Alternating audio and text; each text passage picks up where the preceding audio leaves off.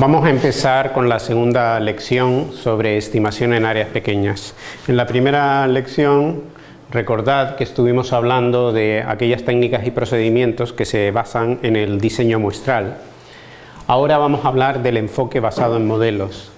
La teoría, la teoría de los modelos estadísticos eh, comenzó a aplicarse en, poblaciones finitas ya en el siglo pasado, eh, ya por los años 70 ya se aplicaban modelos pero eh, a, la, sección de estimación en áreas pequeñas se empezó a utilizar de forma, de forma habitual eh, y se empezó a desarrollar la, teoría ya a finales de los 80. Actualmente los procedimientos digamos, más potentes de estimación en áreas pequeñas están basados en modelos. Entonces lo que vamos a plantear aquí en esta lección es una pequeña introducción a la utilización de modelos en estimación en áreas pequeñas y luego una aplicación que he hecho con compañeros del departamento, con los profesores María Dolores Esteban, eh, Agustín Pérez y Laureano Santamaría, a la aplicación, perdón, a la estimación de, eh, de, proporción, de la proporción de pobreza en las provincias, eh, digamos, de España. Y, este es un problema de, áreas pequeñas porque aquí se utilizan datos de la encuesta de condiciones de vida y esa, y esa encuesta está diseñada para sacar estimaciones a nivel de comunidad autónoma. De forma que ahí el dominio planificado es la comunidad autónoma y la provincia se convierte entonces en un área pequeña. Bueno, pues vamos a comenzar la lección. Como, decíamos antes, vamos a hablar de, primero del problema de estimación en áreas pequeñas, Hablaremos también de cómo se mide la pobreza en estadística pública. Eh, diremos algunas cuestiones sobre modelos eh, temporales a nivel de área. Veremos algunos eh, experimentos de simulación para, ver cómo las, las, propuestas teóricas se analizan con simulación y finalmente pasaremos a la aplicación a datos reales. Bien, vamos a plantear el problema de estimar eh, una media de una variable i en una población u con eh, n mayúscula unidades. Entonces cuando eh, ese es el objetivo del proceso estadístico, lo que se hace es generalmente extraer una muestra de tamaño n pequeña y usar, por ejemplo, un estimador directo que podría ser la media muestral para poder estimar la media poblacional. Entonces, ¿cómo se selecciona el tamaño muestral? Una forma de hacerlo es eh, calcular lo que sería el coeficiente de variación del, estimador, es decir, la raíz cuadrada del error cuadrático medio del estimador partido por la cantidad a estimar, la multiplicamos por 100 y eh, lo que nos gustaría es que eso fuese eh, menor que 10, por ejemplo. Eh, entonces, digamos, el, menor que 10 significa tener, tener digamos, un, grado de error de como mucho un 10%. Eso hay que interpretarlo de esa manera. Bueno, pues de esta forma nosotros seleccionaríamos el tamaño muestral y tendríamos la primera situación. Tenemos una población de tamaño n mayúscula, un parámetro estimar, que es la, media poblacional de una variable y extraemos una muestra de tamaño n suficientemente grande, porque eh, ya sabemos que si utilizamos el estimador directo, por mucho, como mucho tendremos un grado de error de un 10%. Bueno, pues pasamos a un nuevo problema, y es que ahora nos piden a los estadísticos que con el mismo tamaño muestral n demos además estimaciones, a ser posible precisas, de la media poblacional de cada uno de los dominios D en que hemos subdividido la población. En este caso, hemos subdividido la población en nueve dominios, nueve subpoblaciones. Fijaros que para cada dominio tendremos un tamaño poblacional y una media poblacional, así desde el primero hasta el M. Claro, ¿qué es lo que ocurre ahora? Que el tamaño muestral que, nosotros obtenemos finalmente dentro de cada dominio, es decir, n sub 1, n sub 2, n sub 3, así hasta n sub n, para empezar es una cantidad aleatoria, si sobre la población estamos haciendo un muestreo aleatorio simple, y en cualquier caso son tamaños muestrales más pequeños que el tamaño n que nosotros necesitábamos para tener una precisión de eh, eh, bueno, un grado de, error de como mucho un 10%. Ese grado de error ahora va a ser en la mayoría de los dominios pues superior al 10%. Con lo cual, si ese 10% es, digamos, la barrera que nosotros eh, fijamos a priori para admitir como bueno un estimador o no, lo más probable es que eh, los, estimadores de los totales de los, dominios, no sean suficientemente precisos y eh, entonces nos encontraríamos con el problema de estimación en áreas pequeñas. Bien, eh, ya vimos en la lección anterior que eh, la estimación en áreas pequeñas se puede plantear desde la perspectiva del diseño muestral, donde los valores que toma la variable i en cada una de las unidades de la población es, eh, digamos, es el parámetro básico del problema. Cada uno de los elementos de ese parámetro, cada uno de esos i sub i, son cantidades desconocidas, pero no aleatorias. La fuente de aleatoriedad viene del mecanismo aleatorio con que se extrae la, muestra y entonces ahí tenemos una distribución de probabilidad, que es la, que se llama distribución del diseño muestral. Bueno, con esa distribución se puede calcular lo que es la media y la varianza de los estimadores. Habíamos visto también en la lección anterior que el estimador, digamos, más sencillo de todos y contra el cual, digamos, eh, siempre se compite, el estimador que siempre queremos mejorar es el estimador directo, que es un estimador, digamos, eh, lineal en el sentido de que es una suma de pesos por valores de la variable en estudio y que tiene pues buenas propiedades según vimos ya en la lección anterior. Bueno, también eh, basándonos en el diseño muestral tendríamos un estimador o podemos dar un estimador de la media poblacional que lo obtendríamos o que eh, como un estimador de razón. Y lo obtenemos como un estimador de razón porque eh, se ha comprobado que es preferible estimar los totales del numerador y del denominador en lugar de eh, utilizar una cantidad conocida para el denominador. Bueno, las propiedades de este, estimador también son conocidas y tenemos lo que es importante también eh, un estimador aceptablemente bueno de la varianza del estimador directo de la media poblacional. Bueno, entonces vamos a, centrarnos un poco en lo que es el problema de estimación en áreas pequeñas.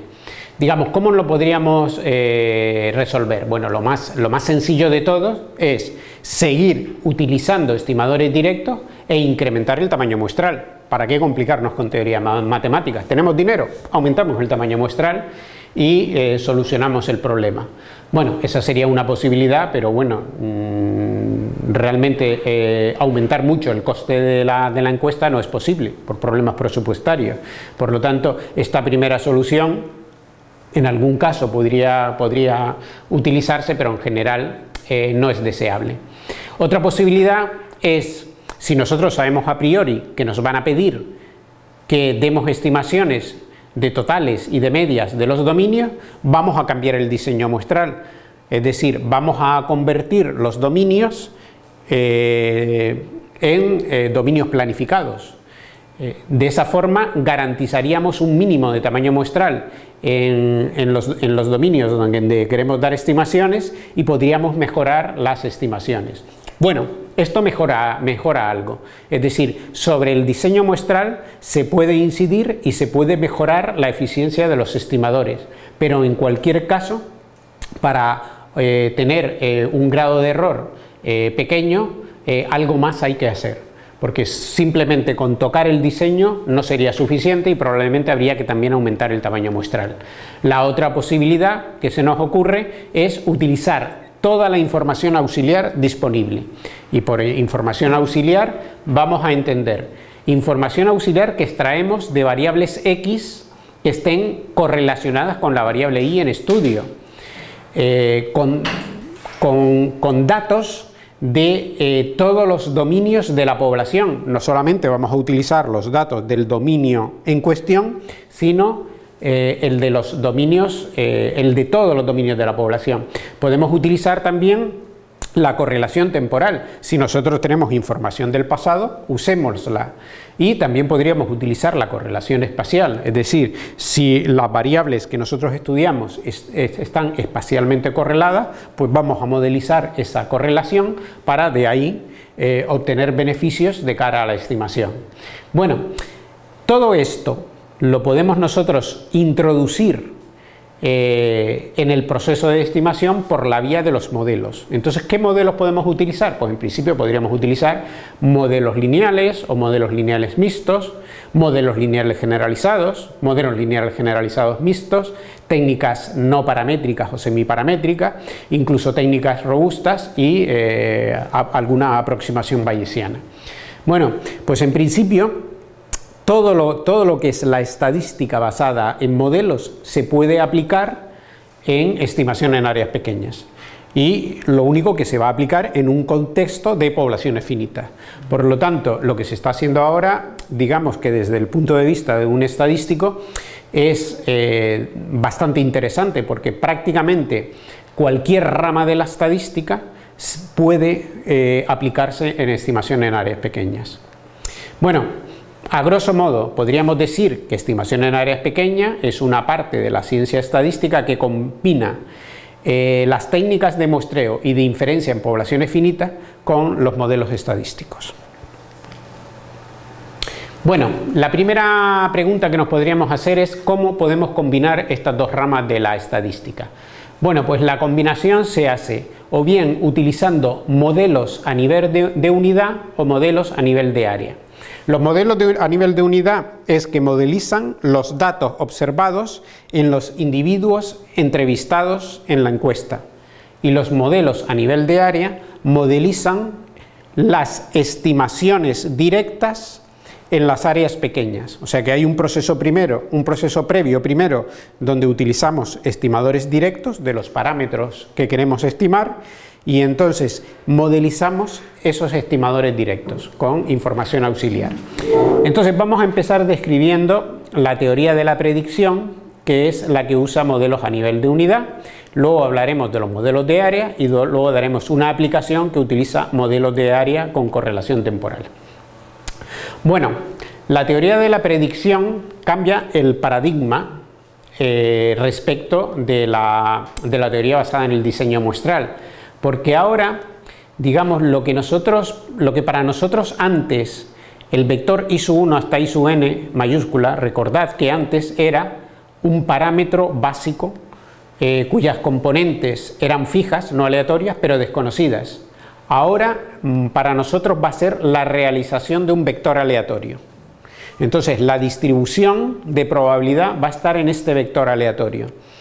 Y ese vector aleatorio, esto a veces se llama modelo de superpoblación, porque hay, por así decirlo, una superpoblación, que no es una población real, sino que es una, población ficticia, que eh, en algún momento dado nosotros la observamos.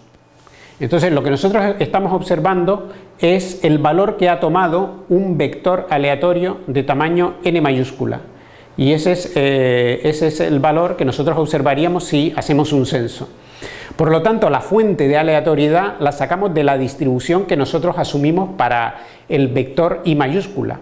Y esa fuente de aleatoriedad la introducimos a través de un modelo.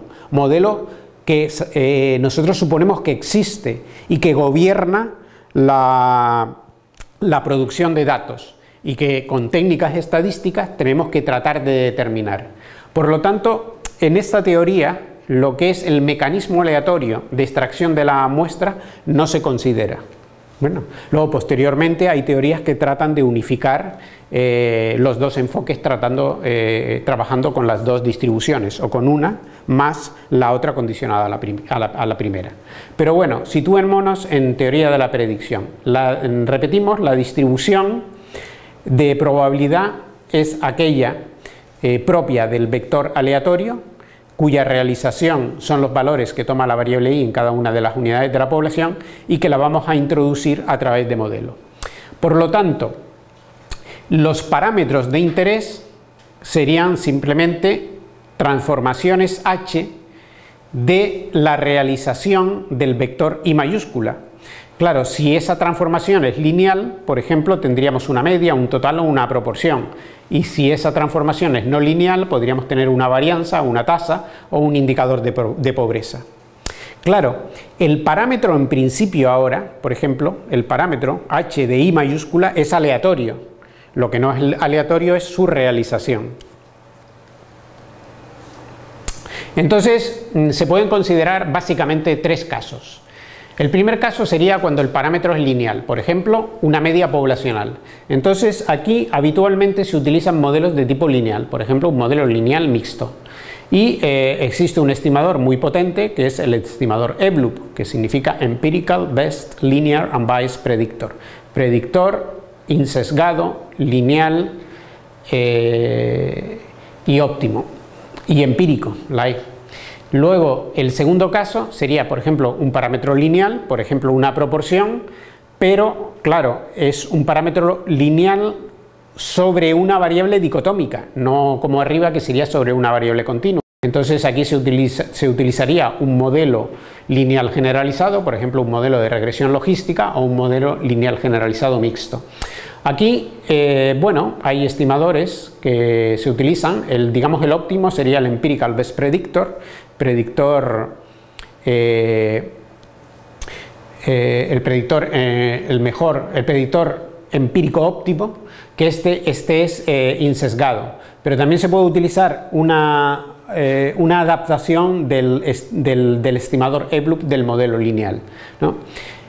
Bueno, aquí la, teoría matemática es un poco más compleja porque este empirical best predictor es una esperanza condicionada que a su vez hay que estimar mm, generalmente por Monte Carlo, mientras que arriba eh, el EVLOOP es simplemente un estimador de fórmula explícita. Y bueno, el caso más complicado de todo sería cuando el parámetro es no lineal, por ejemplo la brecha de, pobreza, y aquí digamos que tanto el modelo como el estimador está digamos actualmente un poco más abierto, no hay una teoría, digamos, dominante para resolver este problema. Bueno, y por eso en, este caso es donde más investigación se está haciendo actualmente. Bueno, lo que vamos a hacer es a continuación describir brevemente el caso primero, que es digamos el caso más sencillo y el caso digamos que ya tiene una teoría más consistente. Bueno, imaginemos que estemos interesados en estimar una combinación lineal de los valores de la variable i, es decir, un, parámetro de la forma a transpuesta por i, donde a es un vector de tamaño n mayúscula cuyas componentes son conocidas. Por ejemplo, si queremos estimar un total poblacional, todos los a sub i serían iguales a 1, y si queremos estimar una media poblacional, todos los a sub i serían igual a 1 partido por n mayúscula. Entonces, una vez tenemos nuestro parámetro, mm, tendríamos que definir que es un estimador lineal del parámetro teta igual a traspuesta por eh, i mayúscula. Pues sería simplemente eh, un estimador que tiene una fórmula lineal, aquí hay un g sub s traspuesta, que es un vector de n minúscula coeficiente, n minúscula es el tamaño muestral, y luego aquí tendríamos el vector, el subvector eh, i sub s, es decir, el, del vector i mayúscula que teníamos antes, aquel subvector que tiene los índices que han aparecido en la muestra. Eh, podemos definir lo que es el error de estimación, que no es otra cosa que la diferencia entre el estimador y el parámetro. Y tenemos que asumir un modelo que genere la distribución de probabilidad en el vector i mayúscula. Vamos a suponer que tenemos un modelo de tipo lineal, es decir, que la esperanza del vector i mayúscula es de la forma x más beta y que de momento vamos a suponer conocida su varianza. Bueno, pues si esa es nuestra situación, podemos dar un par de definiciones más y luego ya describimos la forma de trabajar. Diríamos que un estimador es predictivamente insesgado de un parámetro si la esperanza de la diferencia es cero. Aquí es importante observar que es incorrecto escribir que la esperanza del estimador es el parámetro, porque el parámetro es una variable aleatoria. O sea, tan aleatoria es el estimador como el parámetro. ¿El parámetro por qué es una variable aleatoria? Nos vamos a la transparencia anterior. Eh, aquí tenemos el parámetro, es A traspuesta por I, pero I decíamos que era un vector aleatorio, por lo tanto el parámetro aquí es una variable aleatoria. Entonces, al ser una variable aleatoria, nosotros no lo podemos sacar fuera de la esperanza. Esto es incorrecto. Por lo tanto, se define así eh, eh, la insesgadez predictiva. Y el error, el error de la varianza del error es lo que habitualmente se llama error cuadrático medio y es el valor esperado de la diferencia entre el estimador y el parámetro elevado al cuadrado. Bien, para poder eh, plantear, para poder hacer estimaciones, ahora lo que vamos a hacer es, sin pérdida de generalidad, suponer que los individuos que están en la muestra son los primeros S individuos y a partir de ahí viene la no muestra, que serían los R restantes individuos, con lo cual la matriz X la podemos particionar, lo mismo la, la matriz V, la particionamos en bloques y así eh, sucesivamente hacemos con todo. Y una vez hemos hecho, hay un teorema que se llama el teorema general de predicción, que nos da el, el estimador lineal que minimiza el error cuadrático medio. Y ese estimador tiene la fórmula 1 que aparece aquí. Y además este mismo, este mismo teorema nos da la fórmula del error cuadrático medio. Luego, el estimador este óptimo eh, se llama eh, Best Linear Unbiased Predictor porque es el predictor lineal insesgado óptimo. Y bueno, tenemos su fórmula explícita y la fórmula explícita de su error cuadrático medio. Bien, digamos que la cosa hasta aquí es muy sencilla pero también es muy sencilla porque en nuestro modelo hemos supuesto conocido la, matriz de varianzas covarianzas del vector I mayúscula. En la práctica mm, es, esa matriz de varianzas covarianzas no es conocida, sino que aquí hay parámetros de varianzas que son desconocidos y que hay que estimar. Por lo tanto, aunque esto desde un punto de vista teórico resuelve el problema, en la práctica eh, digamos, todavía queda la estimación de estas V's. ¿Vale? Bien, nos vamos ahora a los modelos de área. Recordad que al principio decíamos que teníamos dos posibilidades, utilizar modelos de unidad o utilizar modelos de área. ¿Qué es lo que hacen los modelos de área? Pues lo primero que hacemos es nos fijamos en los estimadores directos de las medias poblacionales de los dominios D. Nosotros sabemos que estos estimadores tienen un sesgo muy pequeño, casi nulo, porque sabemos las, probabilidades del estimador directo, pero que tienen una varianza grande. Como tienen una varianza grande, estimación a estimación, nosotros no nos fiamos de ellas. Para cada nosotros no nos fiamos de cada estimación individual, pero como conjunto sí nos fiamos de todas ellas. O dicho de otra forma, aquí lo que vamos a tener es una nube de puntos donde punto a punto vamos a tener un intervalo de confianza bastante grande, que lo podríamos representar en vertical, pero claro, la nube de puntos sí nos da una tendencia y, nosotros nos fiamos de esa tendencia. Pues ¿qué hacemos? Le ajustamos un modelo a la nube de puntos y en lugar de utilizar como estimador el punto que nosotros hemos tenido, que está en el centro del intervalo de confianza, que es el estimador directo, vamos a utilizar el valor que predice el modelo. O de alguna manera lo único que hacemos es suavizar la nube de puntos. ¿Vale?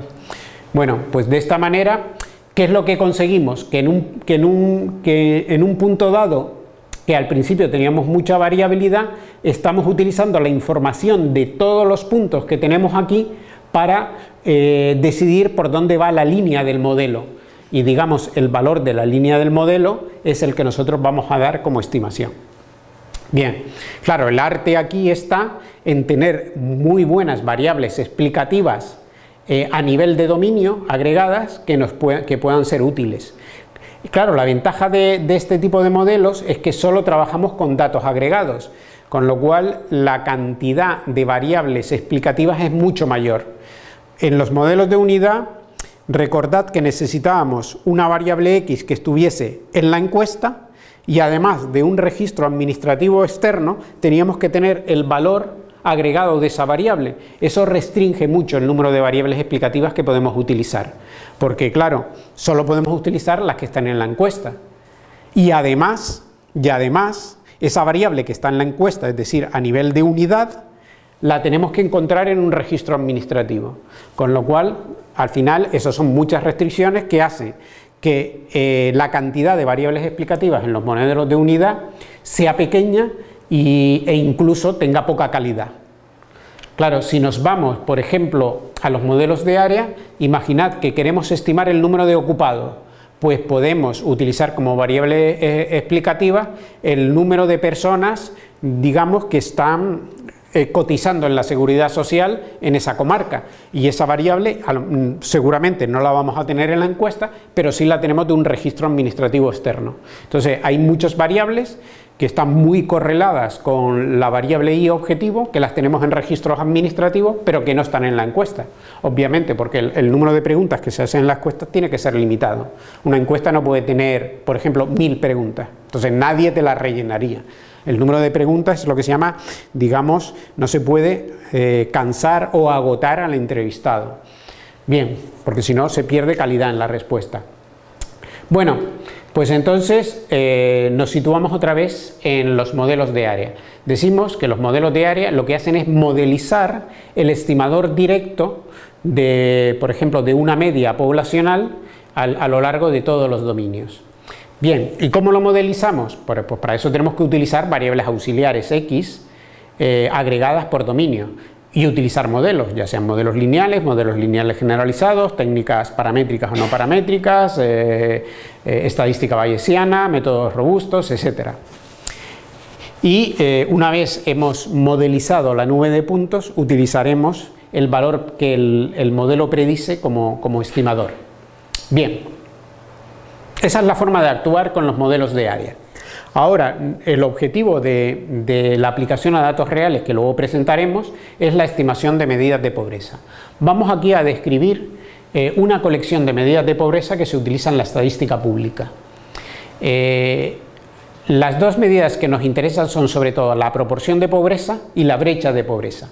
Para eso nos tenemos que fijar, por ejemplo, en una cantidad que vamos a llamar E sub dj, que sería, para hacernos una idea, eh, vamos a fijar, sería Vamos a suponer que esto es, esta variable E, es la, renta total neta de, los hogares, ¿no? Renta total neta de los hogares. Es decir, cogemos las rentas de los, de los hogares, de, un hogar anual, y eh, después de quitarle los impuestos, sumamos las rentas de todos los individuos del hogar y obtendríamos esta, esta variable.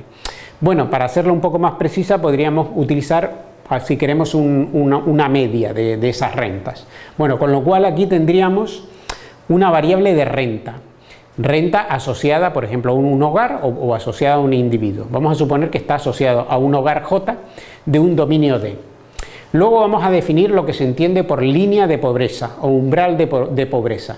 De forma que un individuo o un hogar cuyos ingresos anuales netos estén por debajo de ese umbral de pobreza, se considera que están en riesgo de pobreza, o, para decirlo de forma más sencilla, que son pobres. Y si están por encima de ese umbral Z, eh, digamos, no son pobres. Entonces, ahora nos fijamos en la fórmula que tenemos aquí. Si nosotros ponemos este, este alfa que está en el exponente y lo hacemos cero, nos desaparece el, el paréntesis y simplemente tenemos el indicador de aquellos hogares o individuos que están por debajo del, umbral de pobreza. Por lo tanto, en el numerador sumamos el número de individuos o hogares que son pobres y en el denominador todos los que son pobres. Entonces, esto es la proporción de pobreza. Sin embargo, si aquí alfa ponemos, uno, ponemos un 1, entonces en el numerador estamos sumando solamente en los que son pobres. Y aquí lo que tenemos es la distancia de un pobre a dejar de ser pobre. Por lo tanto, es algo así como la, distancia relativa a la que estaría un pobre para dejar de ser pobre. Entonces, si, si, con alfa igual a 1 esta cantidad es grande, es que, digamos, es que los, los pobres les va a costar mucho trabajo dejar de serlo. Y si esos valores son pequeños, es que los pobres, eh, digamos, les va a costar poco trabajo para dejar de ser pobre. Por lo tanto, digamos que miden eh, cuestiones distintas. Uno mide la proporción de pobreza y la otra se llama brecha de pobreza. Bueno, la forma de trabajar con modelos de, área es, en primer lugar, utilizar estimadores directos del, parámetro poblacional a estudiar, ya sea de la proporción de pobreza o de la brecha de pobreza. Lo que tenemos aquí es simplemente la, la fórmula del estimador directo. Claro, si los tamaños muestrales en los dominios son muy pequeños, estos estimadores directos son poco fiables. Bueno, como son poco fiables, los vamos a utilizar, estos estimadores directos, como variable i en un modelo de área, como variable objetivo en un modelo de área. Bueno, entonces, esto es un modelo de área. Este i sub dt va a ser el estimador directo que nosotros hemos obtenido del, del estimador directo del indicador de pobreza en el dominio D. Bueno, y si queremos, en un instante de tiempo t, porque vamos a utilizar un modelo de tiempo. Bueno, pues aquí ya nos vamos a fijar en este modelo de área. Esto es un modelo de área porque es un modelo que recoge la estimación del estimador directo del indicador de pobreza en el dominio D y en el instante de tiempo t. Lo modelizamos a partir de unas variables auxiliares y luego le introducimos unos efectos aleatorios. El primer efecto aleatorio va a, recoger la variabilidad que hay entre los distintos dominios y el segundo va a recoger la variabilidad que hay a lo largo del tiempo dentro de un dominio. Entonces, para el segundo, digamos, en el caso más complicado, podemos suponer que si nosotros fijamos el dominio y dejamos correr el tiempo, lo que obtenemos es la distribución que nos da un proceso estocástico autorregresivo de orden 1. Por lo tanto, aquí tendríamos dos parámetros, un parámetro de varianza y un parámetro de autocorrelación, mientras que para el uso 1 solo tendríamos un parámetro de varianza. Para los errores, para los errores las varianzas se suponen conocidas y aquí lo que ponemos es la varianza estimada del estimador directo. Bueno, este modelo de área lo podemos escribir en forma matricial, digamos que simplemente encolumnando adecuadamente los valores que, nosotros hemos observado a nivel individual. Y una vez escrito en forma matricial los eh, efectos aleatorios, el U 1, el U 2 y el U E tendrían distribución normal multivariante con las respectivas matrices de varianzas covarianzas, pues la de 1, la de 2 y la de E. Bueno, de este modelo general se pueden sacar algunos submodelos. El modelo 2 se obtendría restringiendo el modelo 3 a que el parámetro de eh, autocorrelación sea cero. Entonces tendríamos independencia a lo largo del tiempo en el efecto aleatorio 2. El modelo 1 lo, lo podríamos obtener restringiendo el modelo 3 a que la varianza del, primer efecto aleatorio sea cero. En ese caso, lo que estamos diciendo es que quitamos el primer efecto aleatorio. Y el modelo 2, quitamos el primer efecto aleatorio y quitamos la correlación temporal. Bueno, con lo cual tendríamos aquí eh, los modelos 0, 1, 2 y 3, es decir, cuatro modelos. Bien, una vez tenemos los modelos, eh, eh, podemos estimar el el parámetro de regresión, el parámetro beta, y podemos predecir el efecto aleatorio. Bueno, esto es simplemente utilizando eh, algunos algoritmos de ajuste para el, para, el, modelo. Por ejemplo, podríamos utilizar el método de la máxima verosimilitud residual. Que no vamos a entrar esto porque esto ya es teoría, teoría de modelos, ¿no? Pero bueno, son algoritmos que nos permiten estimar los parámetros del modelo y predecir los efectos aleatorios. Una vez hemos hecho esto, cuál es nuestro estimador de la, media poblacional, que lo vamos a llamar estimador, antes era direct, ahora es EBLUP, pues es simplemente el valor que predice el modelo, pues este es nuestro estimador. Es más, acudiendo a, toda la teoría que hay en la literatura de estimación en áreas pequeñas, somos capaces de calcular el error cuadrático medio de este estimador y de dar un estimador del error cuadrático del estimador EBLUP de la media poblacional. Bueno, y ahora vamos a pasar a las eh, simulaciones. Decíamos al principio que, vamos a ver un, par de experimentos de simulación para analizar cómo, eh, cómo funciona eh, toda esta metodología estadística que estamos aquí explicando. Entonces, cuando se plantea un, experimento de simulación, pues hay que generar, en este caso, los valores de, la variable x y de la variable y. Bueno, la variable y la generamos con un modelo que tiene un, término en el origen, un intercept, eh, y una única variable explicativa x. Y luego los efectos aleatorios us1 y us2 y finalmente el error. Eh, fijamos los, valores de los parámetros de regresión y de varianza y entonces ya con eso, eh, bueno, y fijamos la forma de simular la variable x y ya con eso podemos simular los valores de la variable y. Y de esta manera tendríamos muchas muestras, muchas muestras, tanto con variables x y variables y. Y a cada una de las muestras le vamos a aplicar la metodología y vamos a ver qué es lo que ocurre. Bueno, en el primer experimento de simulación, bueno, simulamos muchas muestras y lo que nos interesa estudiar es qué es lo que ocurre con el sesgo y el error cuadrático medio del estimador EBLUP, que vienen aquí representados. Bueno, pues esto es sesgo empírico y error cuadrático medio empírico a lo largo de K, K mayúscula iteraciones de, la simulación, en este caso 10.000 iteraciones. O sea que hemos simulado 10.000 muestras y a las 10.000 muestras le aplicamos la metodología. Entonces, eh, aquí lo que es interesante es, por ejemplo, qué es lo que ocurriría con el estimador EBLUP para los modelos 2 eh, y 3, que son los, los modelos que utiliza, utilizan, digamos, eh, correlación temporal y el que no utiliza correlación temporal.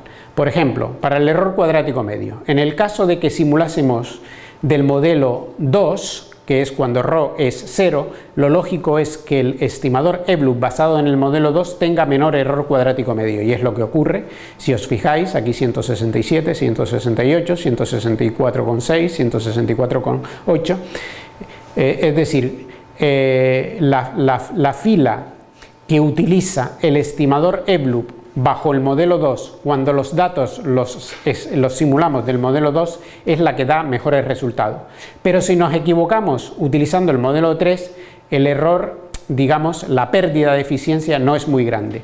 Sin embargo, cuando simulamos con una correlación de 0,75, es decir, simulamos del modelo 3 y utilizamos los estimadores basados en el modelo 2 y en el modelo 3, obviamente los resultados del modelo 3 son mucho, mejor, mucho mejores que los del modelo 2, tienen menor error cuadrático medio.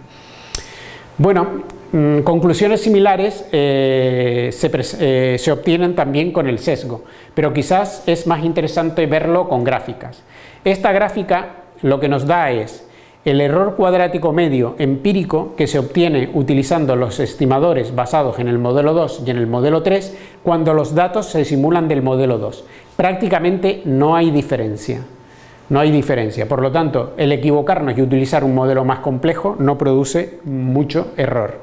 Sin embargo, si los datos los simulamos del modelo 3, es decir, existe una correlación temporal de 0,75 y utilizamos nosotros incorrectamente el modelo 2, el error cuadrático medio es bastante mayor, como se ve aquí en la gráfica de cruces azules, que está muy por encima de la gráfica de abajo en eh, círculos rojos. Bueno, por lo tanto, eh, digamos, equivocarse eh, utilizando un modelo más sencillo puede tener un coste bastante grande en términos de, eficiencia de la estimación. Estos mismos resultados eh, son los que eh, con estas gráficas son para el sesgo. Aquí estamos simulando los datos del modelo 2, que es el modelo sin correlación temporal, y si nos equivocamos al modelo 3, eh, no nos alejamos mucho de la línea de sesgo cero, que es la línea que pasa por el origen de coordenadas.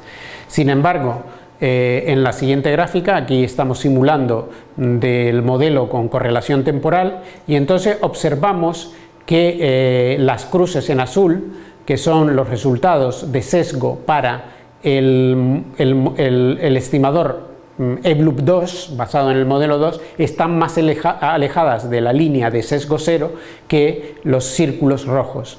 Es decir, que si nosotros utilizamos el modelo correcto, tenemos además menos sesgo. Bueno, el segundo experimento de simulación está diseñado para estudiar qué es lo que ocurre con el estimador del error cuadrático medio. Porque no solamente estamos estimando eh, unas medias poblacionales, también queremos estimar el error cuadrático medio que tiene el estimador EBLUP de esa media poblacional. Bueno, pues esto es lo que hace el segundo experimento de simulación. Eh, análogamente, eh, vamos a hacer una comparativa entre los dos modelos. O bien simulamos bajo el modelo 2 o bien simulamos, perdón, o bien simulamos bajo el modelo 2, que sería cuando ρ es igual a 0, o bien simulamos bajo el modelo 3, que es cuando ρ es 0,25, 0,5, 0,75.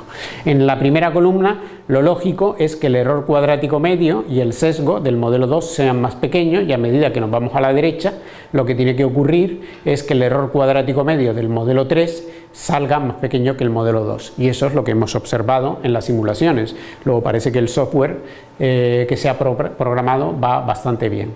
La, misma información en forma de gráficas. Aquí estamos simulando del modelo 2 y estamos presentando el error cuadrático medio que se, que se comete con los estimadores del error cuadrático medio del estimador EBLUP de la media. Como veis, aquí círculos rojos y cruces azules prácticamente coinciden, con lo cual equivocarse de modelo utilizando el modelo más complejo no, eh, no, es problemático. Sin embargo, si nos equivocamos al revés, si el modelo correcto es el complejo y utilizamos el sencillo, entonces vemos que eh, digamos la, diferencia en error cuadrático medio es bastante sustancial, luego el, el error sería, sería grave. Bueno, pues este sería estas gráficas, bueno, representan la misma idea, solo que cambiando eh, los tamaños muestrales. Y vamos ahora ya por fin a la aplicación a datos reales. Nos vamos a situar entonces en una población que es, eh, digamos que es España, es toda España, y vamos a utilizar datos de la encuesta de población activa de eh, varios años, la encuesta de, perdón, de la encuesta de condiciones de vida. La encuesta de condiciones de vida es una encuesta anual, es decir, hay, hay, digamos, una, se hace una vez al año. Entonces vamos a utilizar tres instantes temporales. El número de dominios va a ser 104, eh, porque lo que vamos a hacer es eh, cruzar las 50 provincias más Ceuta y Melilla, que serían entonces 52, por los dos sexos, para poder sacar estimaciones por hombres y por, mujeres. El umbral de, pobreza, el umbral de pobreza lo vamos a, definir como se hace, digamos, eh, digamos, siguiendo las directrices de Eurostat, utilizaremos eh, como variable los ingresos anuales netos normalizados de los hogares españoles. Y, claro, diremos que un, hogar está en riesgo de pobreza, o, a grosso modo que es pobre, si eh, esos ingresos normalizados anuales netos están por debajo del correspondiente umbral. Aquí el objetivo eh, de lo que vamos a presentar a continuación es estimar la proporción de pobreza. Bien, algún detalle más. ¿Cómo se calcula, eh, digamos, la renta anual normalizada neta del hogar? Eh, la, palabra, neta es porque son ingresos descontado impuesto y la palabra normalizada es porque para cada hogar se va a, construir una variable que es un ingreso medio anual neto. Ese, ingreso anual lo que hace es, en vez de dividir todos los ingresos de los, miembros del, hogar por el número de miembros del hogar, se divide por una cantidad eh, eh, que se construye de la siguiente manera. Eh, se le da peso 1 a uno de los adultos del hogar. Al resto de los adultos del hogar se le da peso 0,5 y a los niños, es decir, edad menor que 14 años, se le da peso 0,3. Digamos que esto se hace por, para tener en cuenta la economía de escala. Hay que tener en cuenta que una persona, si vive sola eh, en un hogar, en una vivienda, esa persona tiene que cubrir todos los gastos del hogar gastos de luz, gastos de agua. Sin embargo, si viven varias personas, esas personas comparten gastos y tienen un beneficio, eh, digamos, en ese sentido por economía de gas. Entonces, esta fórmula de aquí la da Eurostat, digamos, para eh, compensar un poco eh, o para, hacer de, mejor, de una mejor forma posible, digamos, lo que, la construcción de esa variable de ingreso medio del hogar. Bueno, si nos vamos entonces a España, y, queremos calcular la, brecha, perdón, el umbral de pobreza, el umbral de pobreza se calcula.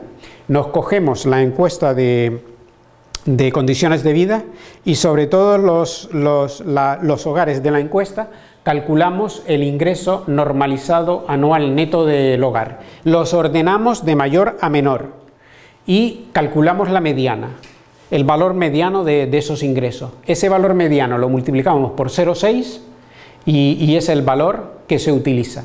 De forma que en 2004-2006 los umbrales de, de pobreza eran 6.098 euros, 6.160 y 6.556. Para entenderlo, para entenderlo, una persona que viva sola, una persona que viva sola, cuyos ingresos anuales netos en 2004 eran inferiores a 6.098 euros, se consideraba pobre. Si son superiores, eh, no se consideraba pobre según la estadística pública. ¿Vale? O sea que esa es la idea. Bueno, pues con esto ya eh, se construye, digamos, ya es lo que hay que utilizar para estimar la proporción de pobreza.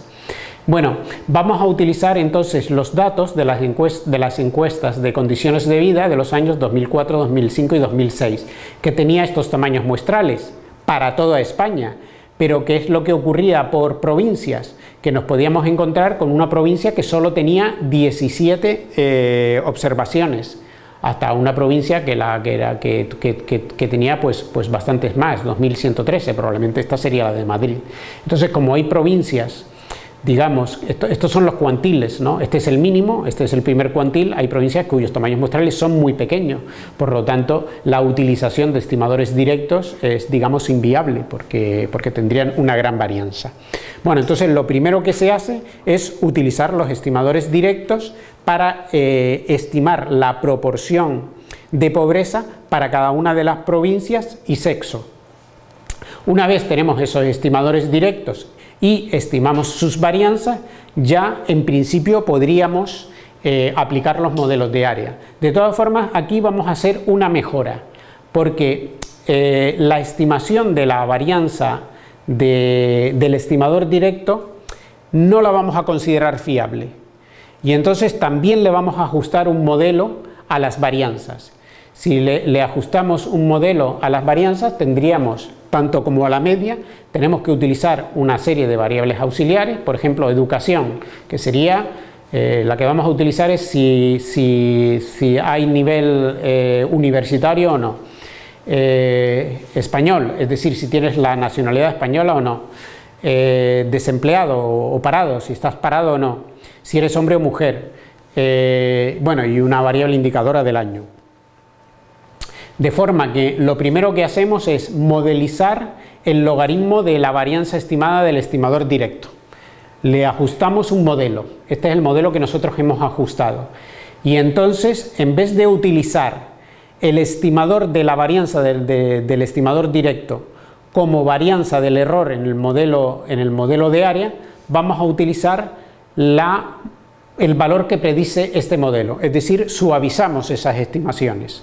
Y entonces eso es lo primero que hacemos, donde aquí utilizamos un factor de corrección de sesgo por el hecho de que aquí tenemos un modelo log lineal, un modelo, tenemos una transformación logarítmica. Bueno, después de, este, de, este, trabajo previo vamos a utilizar como varianzas del error eh, las que nos da el modelo este que tenemos aquí.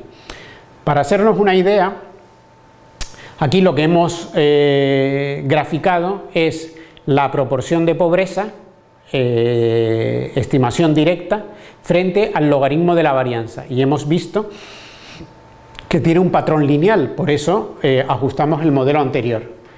Y aquí volvemos a, poner otra gráfica donde vemos en cruces las estimaciones directas de las varianzas de los estimadores directos y en círculos eh, azules las eh, predicciones que nos da el modelo. Claro, obviamente estas varianzas de aquí no se las cree nadie, ¿sabes? Estos son como outliers. Entonces, una estimación directa pues tiene eh, algunas, algunos, algunos valores que son, digamos, poco creíbles. Entonces, esta es la razón por la cual nosotros ajustamos un modelo y suavizamos la nube de puntos y utilizamos los valores suavizados.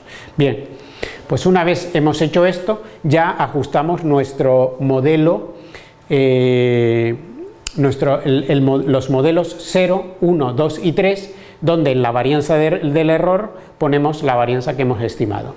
Entonces, para las, para las variables que, nosotros citábamos antes, aquí tenemos los valores de los parámetros beta.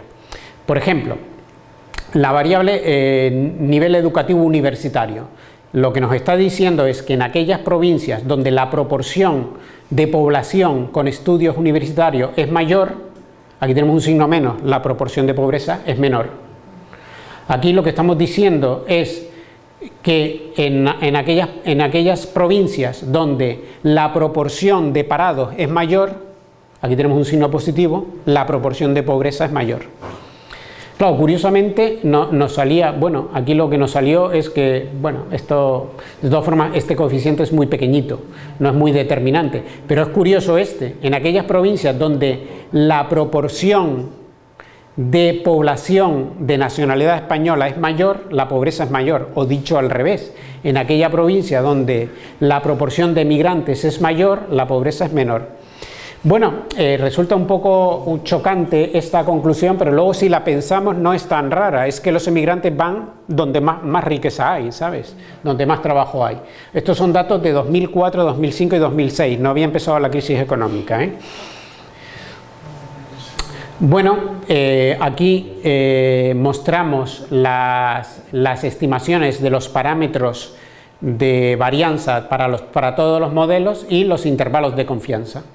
Entonces, por ejemplo, si nos, vemos, si vemos aquí el intervalo de confianza, no contiene al 0, no contiene al 0, no contiene al 0. Eso luego da la impresión de que el modelo 3 es el que hay que utilizar, sobre todo porque el, parámetro de correlación aquí está claramente separado del 0.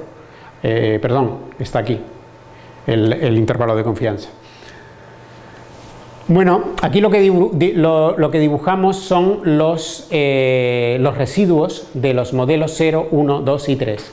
Entonces, en cuanto al, tema de residuos, eh, digamos las gráficas son bastante similares, lo único que si utilizamos los modelos un poco más complicados, lo que sí observamos es que eh, algunos valores que se disparatan por aquí por la derecha quedan más o menos eh, controlados. ¿no? Eh, no, es que, no es que sea esto determinante, pero parece que, estos modelos llevan digamos, los residuos un poco más arriba y abajo de la, línea del cero, que es lo que debería de ser, a este que parece que hay una tendencia demasiado alto hacia arriba, con lo cual este modelo está diciendo que por esta zona de aquí a lo mejor no vamos a estimar mm, muy bien. ¿no? Y ya finalmente como parece que los, modelos más interesantes son los modelos temporales, eh, vamos a, fijarnos en el modelo 3, que es el modelo temporal completo con, coeficiente de correlación, y el modelo 2, que es el modelo temporal completo sin coeficiente de correlación. Y aquí eh, damos las estimaciones de la proporción de pobreza para eh, mujeres y para hombres, perdón, para hombres y para mujeres y para todos los dominios. Entonces vemos la estimación directa en verde, son los triangulitos, y luego las estimaciones de los dos modelos pues son prácticamente coincidentes, tanto las cruces azules como los círculos rojos. Si nos vamos a la estimación de los, de los, de los errores cuadráticos medios, eh, pues bueno, observamos que si utilizamos los, los modelos, pues obtenemos eh, errores cuadráticos medios menores que si utilizamos el estimador directo, lo ganamos mucho utilizando modelos. Y finalmente,